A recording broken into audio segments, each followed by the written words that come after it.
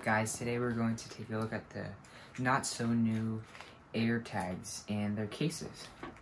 Let's get into it. Hi guys, I want to try to make better quality videos, so if you like a voiceover, I'll do a voiceover towards the end of the video, but I'll do a silent unboxing at the beginning. So if you want to do a voiceover and review of the products, it's later in the video. And if you like it, leave a comment and leave a like. And yep. So that's what that's what'll change. And sorry I haven't got any video out. I uh, started high school and it's pretty tough. Anyway, have a good day.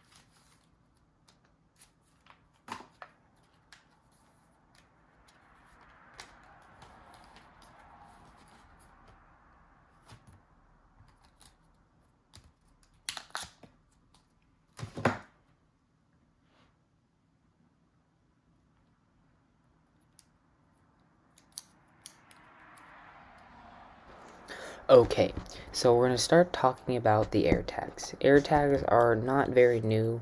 You probably already heard about them.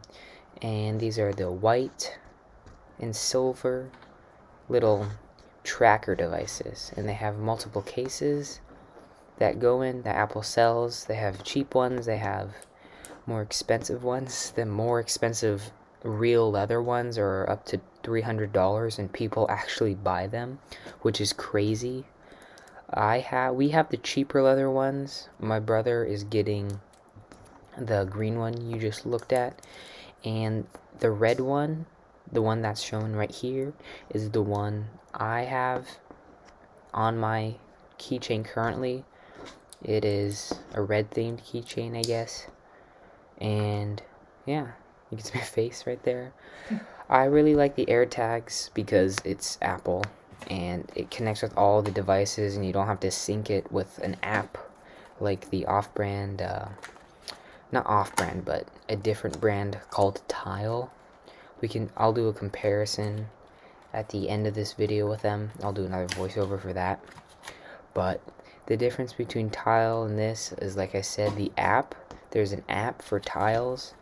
It'll be more difficult to use, I guess. This is just more, uh, like I said, easier to use for that reason. And this, you can use like a nearby thing. We can go up, down. You can move your phone up or down. It'll detect like 0.3 feet. Here, this clip, for some reason when I uploaded it to my computer is really bright. So I had to put filters on it to make sure you guys can see the text. See, as you can see, it's 16 feet away right now. And I'm following it. This is the nearby feature it has. It's 12 feet ahead. I'm walking towards it as it's going down. On the top it says Lucas's keys, which is my keys. And 3 feet ahead, 1.5 feet, and the keys are right there. Yep, here. And those, that is the really cool nearby feature it has. It also has a ring feature like when you're pinging your iPhone and you don't know where it is, that is the ping feature. And let's get into the competition tile and their app. My sister has tile and the rest of the family has AirTags.